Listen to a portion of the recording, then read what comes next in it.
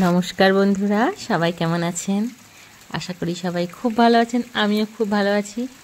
তো সকালবেলা ঘুম থেকে উঠেই প্রথমেই বাইরের দিকে চোখ গেল। তো বেশিক্ষণ আর ঘরের মধ্যে দাঁড়িয়ে থাকতে পারলাম না।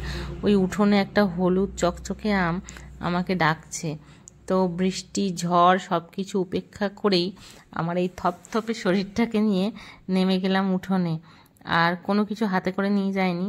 তো এই যে হাত ভর্তি হয়ে গেছে আমে এখনও প্রচুর আম পড়ে আছে।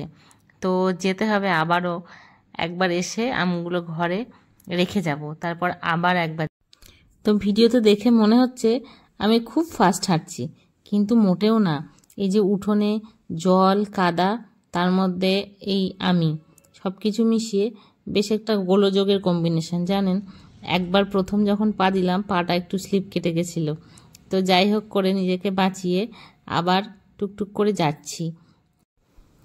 উঠোনে এত আম পড়ে থাকলে ঘরের মধ্যে বসে বসে দাঁড়িয়ে দাঁড়িয়ে দেখা যায় বলুন? তো তাই বাধ্য হয়ে ওই দেখেন কত দূরে আমি চলে এসেছি। মোটেও আমি যেখানে নামতে চাই না, সেখানে আমের জন্য এই জল, বৃষ্টি, কাদা, তার মধ্যেই একেবারে নেমে গেছি আমের নেশায়। তো এই ঝড় বৃষ্টিতে আম কুড়াতে কার না ভালো লাগে বলুন? আর তার সঙ্গে সঙ্গে ওই মামার বাড়ির ছোট্টবেলাটা আর একবার ফিরে আসা যায়, ঘুরে আসা যায়। তো ছোট এই রঙের বালতিটা ভর্তি হয়ে গেছে, আগেও বেশ কিছু আম কুড়িয়ে নিয়ে গেছিলাম। তো আম তো কুড়ানো হলো, এবার আবার খাওয়ার ব্যবস্থার দিকে যেতে হবে। তো চলুন দেখি কতগুলো আম হয়েছে। তো আম কুড়ানো পর্ব সেরে তারপর আমি বাড়ির যে সমস্ত কাজ থাকে সেগুলো কিন্তু সব সেরে নিয়েছি। তারপর স্নান করে চলে আসলাম একটু পাঁচ মিনিটের পুজো করে আমি চলে আসলাম রান্নাঘরে সকালে টিফিনের ব্যবস্থা করতে। তো আম যেহেতু ছিলই, তাই ভাবলাম আজকে টিফিনটা সস্তাতে সেরে নিই। তো গাছের আমের গোড়া কেটে একটুখানি জলে ভিজিয়ে রাখলাম যাতে আঠাটা বেরিয়ে যায়। আর এই বাটির মধ্যে নিয়ে নেব বেশ খানিকটা মুড়ি। মানে একটা জায়গাতেই মাখবো যাতে তিনজনেরই হয়ে যায়। তো মুড়ির সাথে একটু ছাতু নিয়ে নিলাম।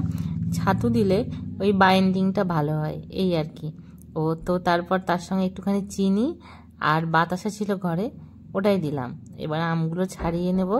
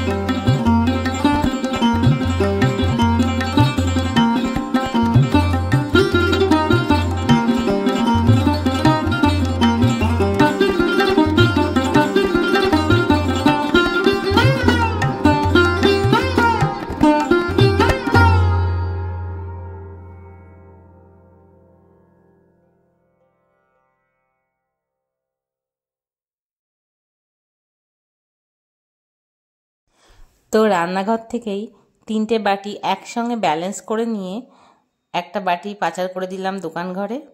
আর বাবুকে দিয়ে দিলাম, আর যে বাটিটায় মেখে নিয়েছিলাম, ওটাতে একটু আমার জন্য নিয়ে নিয়েছিলাম।